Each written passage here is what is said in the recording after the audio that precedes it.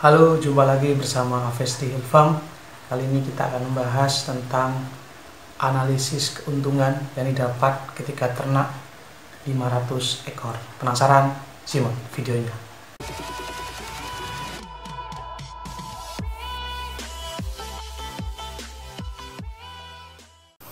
Baik, di dunia peternakan sekarang sudah berkembang sangat pesat.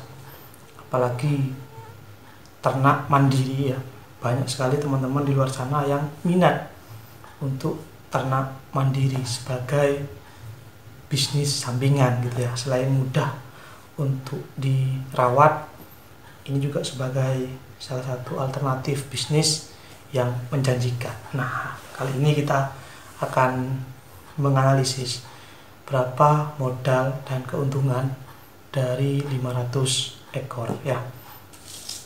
Nah, di sini saya akan menjelaskan ini khusus untuk modal ternak ya. Ini biaya di luar kandang. Kalau teman-teman belum buat kandang, beda lagi. Ini hanya untuk ayam dari 0 hari dari satu hari sampai panen 35 hari ini biaya di luar kandang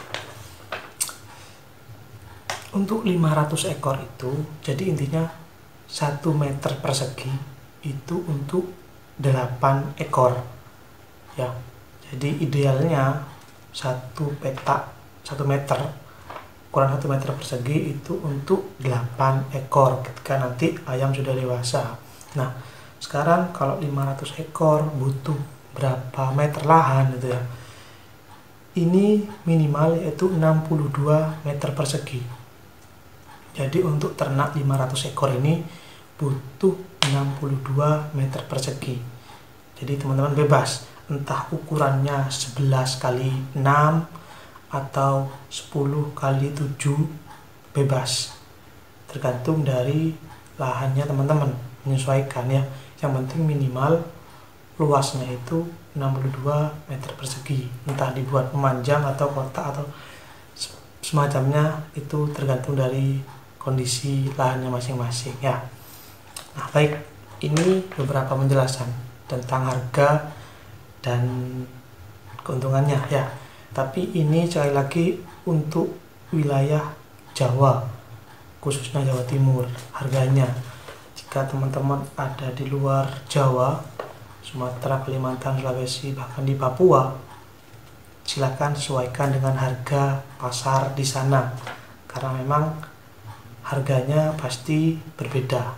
Harga jual berbeda, harga panen berbeda, harga beli, bahkan DOC juga beda. Tapi intinya untuk menghitung seperti ini ya. Baik, kita langsung simak ya. DOC, DOC kita membutuhkan 5 box satu box isi 100 jadi 5 box ini saya hargai 600.000 jadi 5 box sekali 600.000 sama dengan 3 juta. Harga DOC 3 juta. Kemudian pakan. Pakan di sini kita membutuhkan 30 sak karena satu ekor ayam akan menghabiskan 3 kg pakan ya. Untuk menghasilkan 2 kg daging harus harus makan 3 kg pakan jadi 500 ekor itu membutuhkan 1500 kg ya. Jadi itu 30 sak. 30 sak dikali 350.000 ini untuk jatim ya. Itu sama dengan 10 juta 500 jadi pakan dari awal sampai akhir 10 juta 500 kemudian untuk obat-obatan saya asumsikan sebanyak 500 ribu. Kemudian untuk biaya operasional ya karena ini skala rumahan tidak banyak-banyak mungkin membutuhkan ya listrik dan cekem. Listrik itu untuk pemanas nanti karena pemanasnya menggunakan lampu pijar biasanya. Tapi kalau teman-teman punya kompor gas yang sudah dimodifikasi itu mungkin nanti dimasukkan sebagai biaya pembelian gas tabung gas LPG ya. Nah, total untuk modal yang dikeluarkan yaitu 14 juta 200 ribu. Tadi biaya biaya operasionalnya listrik dan sekam itu 200 ribu. Saya asumsikan itu. Kemudian totalnya itu 14 juta 200 ya. Nah kemudian kita pelihara sudah. Pelihara dari satu hari sampai 35 hari. Oke akhirnya kita 35 hari dengan bobot rata-rata 2 kg jadi satu ayam 2 kilo. Kita ternak 500 ekor. 500 ekor dikalikan 2 kg jadi kita terpanen ini 1000 kg ya ini anggapannya sudah ya. Anggapannya bersih 1000 kg ini kita anggap harganya untuk harga pasar 18.000 ya. Jadi 1000 kg itu dikali 18.000 akan menghasilkan 18 juta. Jadi yang didapat 18 juta. Kemudian 18 juta ini dikurangi dari modal. Modalnya berapa? Tadi modalnya 14 juta 200 jadi 18 juta dikurangi 14 juta 200 akan mendapat keuntungan bersih 3 juta 800 ribu. Itu untuk 500 ekor ya. Nah terus bagaimana ketika harga tinggi? Misal kemarin sempat menyentuh harga 24.000 per kilonya. Ini untuk Jawa Timur ya. Nah kalau harga pasar itu tinggi malah semakin banyak untungnya.